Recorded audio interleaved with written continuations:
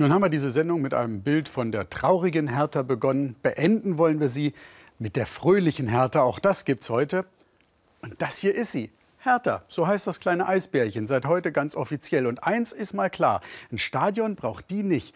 Und einen Ball hat sie ja schon. Dit is sie, die neue Dame Hertha, ganz frisch vom Sponsor getauft.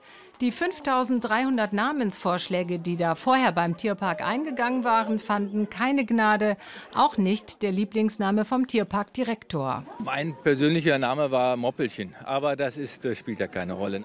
Stimmt.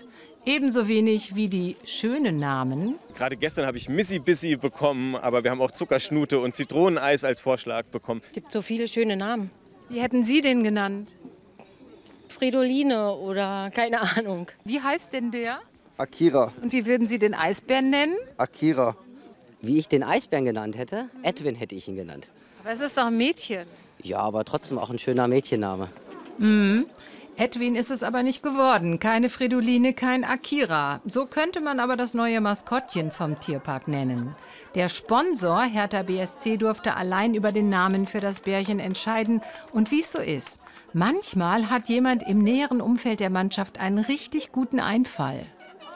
Die eigentliche Idee war von meiner Frau, die hatte von diesem Wettbewerb gelesen und dann habe ich das bei uns in den Verein getragen, große Begeisterung ausgelöst und wir haben dann innerhalb von 24 Stunden ein Bewerbungsvideo gedreht, um uns mit unserem Namen Hertha, der ja ein weiblicher Vorname ist, um die Patenschaft zu bewerben. Tolle Idee. Wobei nicht jede Mutter, schon gar nicht Bärenmutter Tonja Mädchenfußball gut findet. Hertha aber gefiel das Taufgeschenk und sie überraschte mit viel Leidenschaft und Spielfreude beim Dribbling. Mit hochklassigem Ballbesitz begeisterte sie die Zuschauer in ihrem eigenen neuen Stadion. Beim ersten Spiel zeigte sie großes Talent und kickte den Ball mit viel Gefühl und absoluter Treffsicherheit ins Aus. Vielleicht ist Hertha ja doch der richtige Name für solch ein Talent. Eisbären und Hertha BSC machen jetzt also gemeinsam Werbung für sich und Berlin. Und das sagen die Fans vom Fußballverein um die Ecke dazu? Nicht Hertha. Warum Hertha nicht? Weil ich Union-Fan bin. Ah, gäbe es da denn auch einen Namen, der für Union-Fans gut wäre? Nö. Dazu muss man sich einfach bewerben. Ja, das ist einfach so. Hertha hat sich beworben mit einem ganz tollen Video. Auch andere haben sich beworben. Und es können immer nur die werden, die sich auch bewerben. Dann darf man sich nachher nicht beklagen, wenn man sich nicht beworben hat, dass man es nicht geworden ist. Nee. Und Hertha-Fans gibt es jetzt ja auch im Tierpark.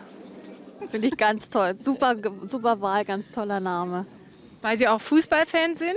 Nee, das gar nicht, aber ich finde, das gehört zu Berlin. Und dann, dass der Bär so heißt, super. Hertha finde ich ganz fantastisch. Warum? Nur weil es ein Name ist, der jedem eigentlich in die Seele geht und den jeder versteht. Wie viel Geld nun von Hertha BSC dafür an den Tierpark geflossen ist, damit das Bärchen jetzt nicht Moppelchen oder Zitroneneis heißt, bleibt erstmal geheim.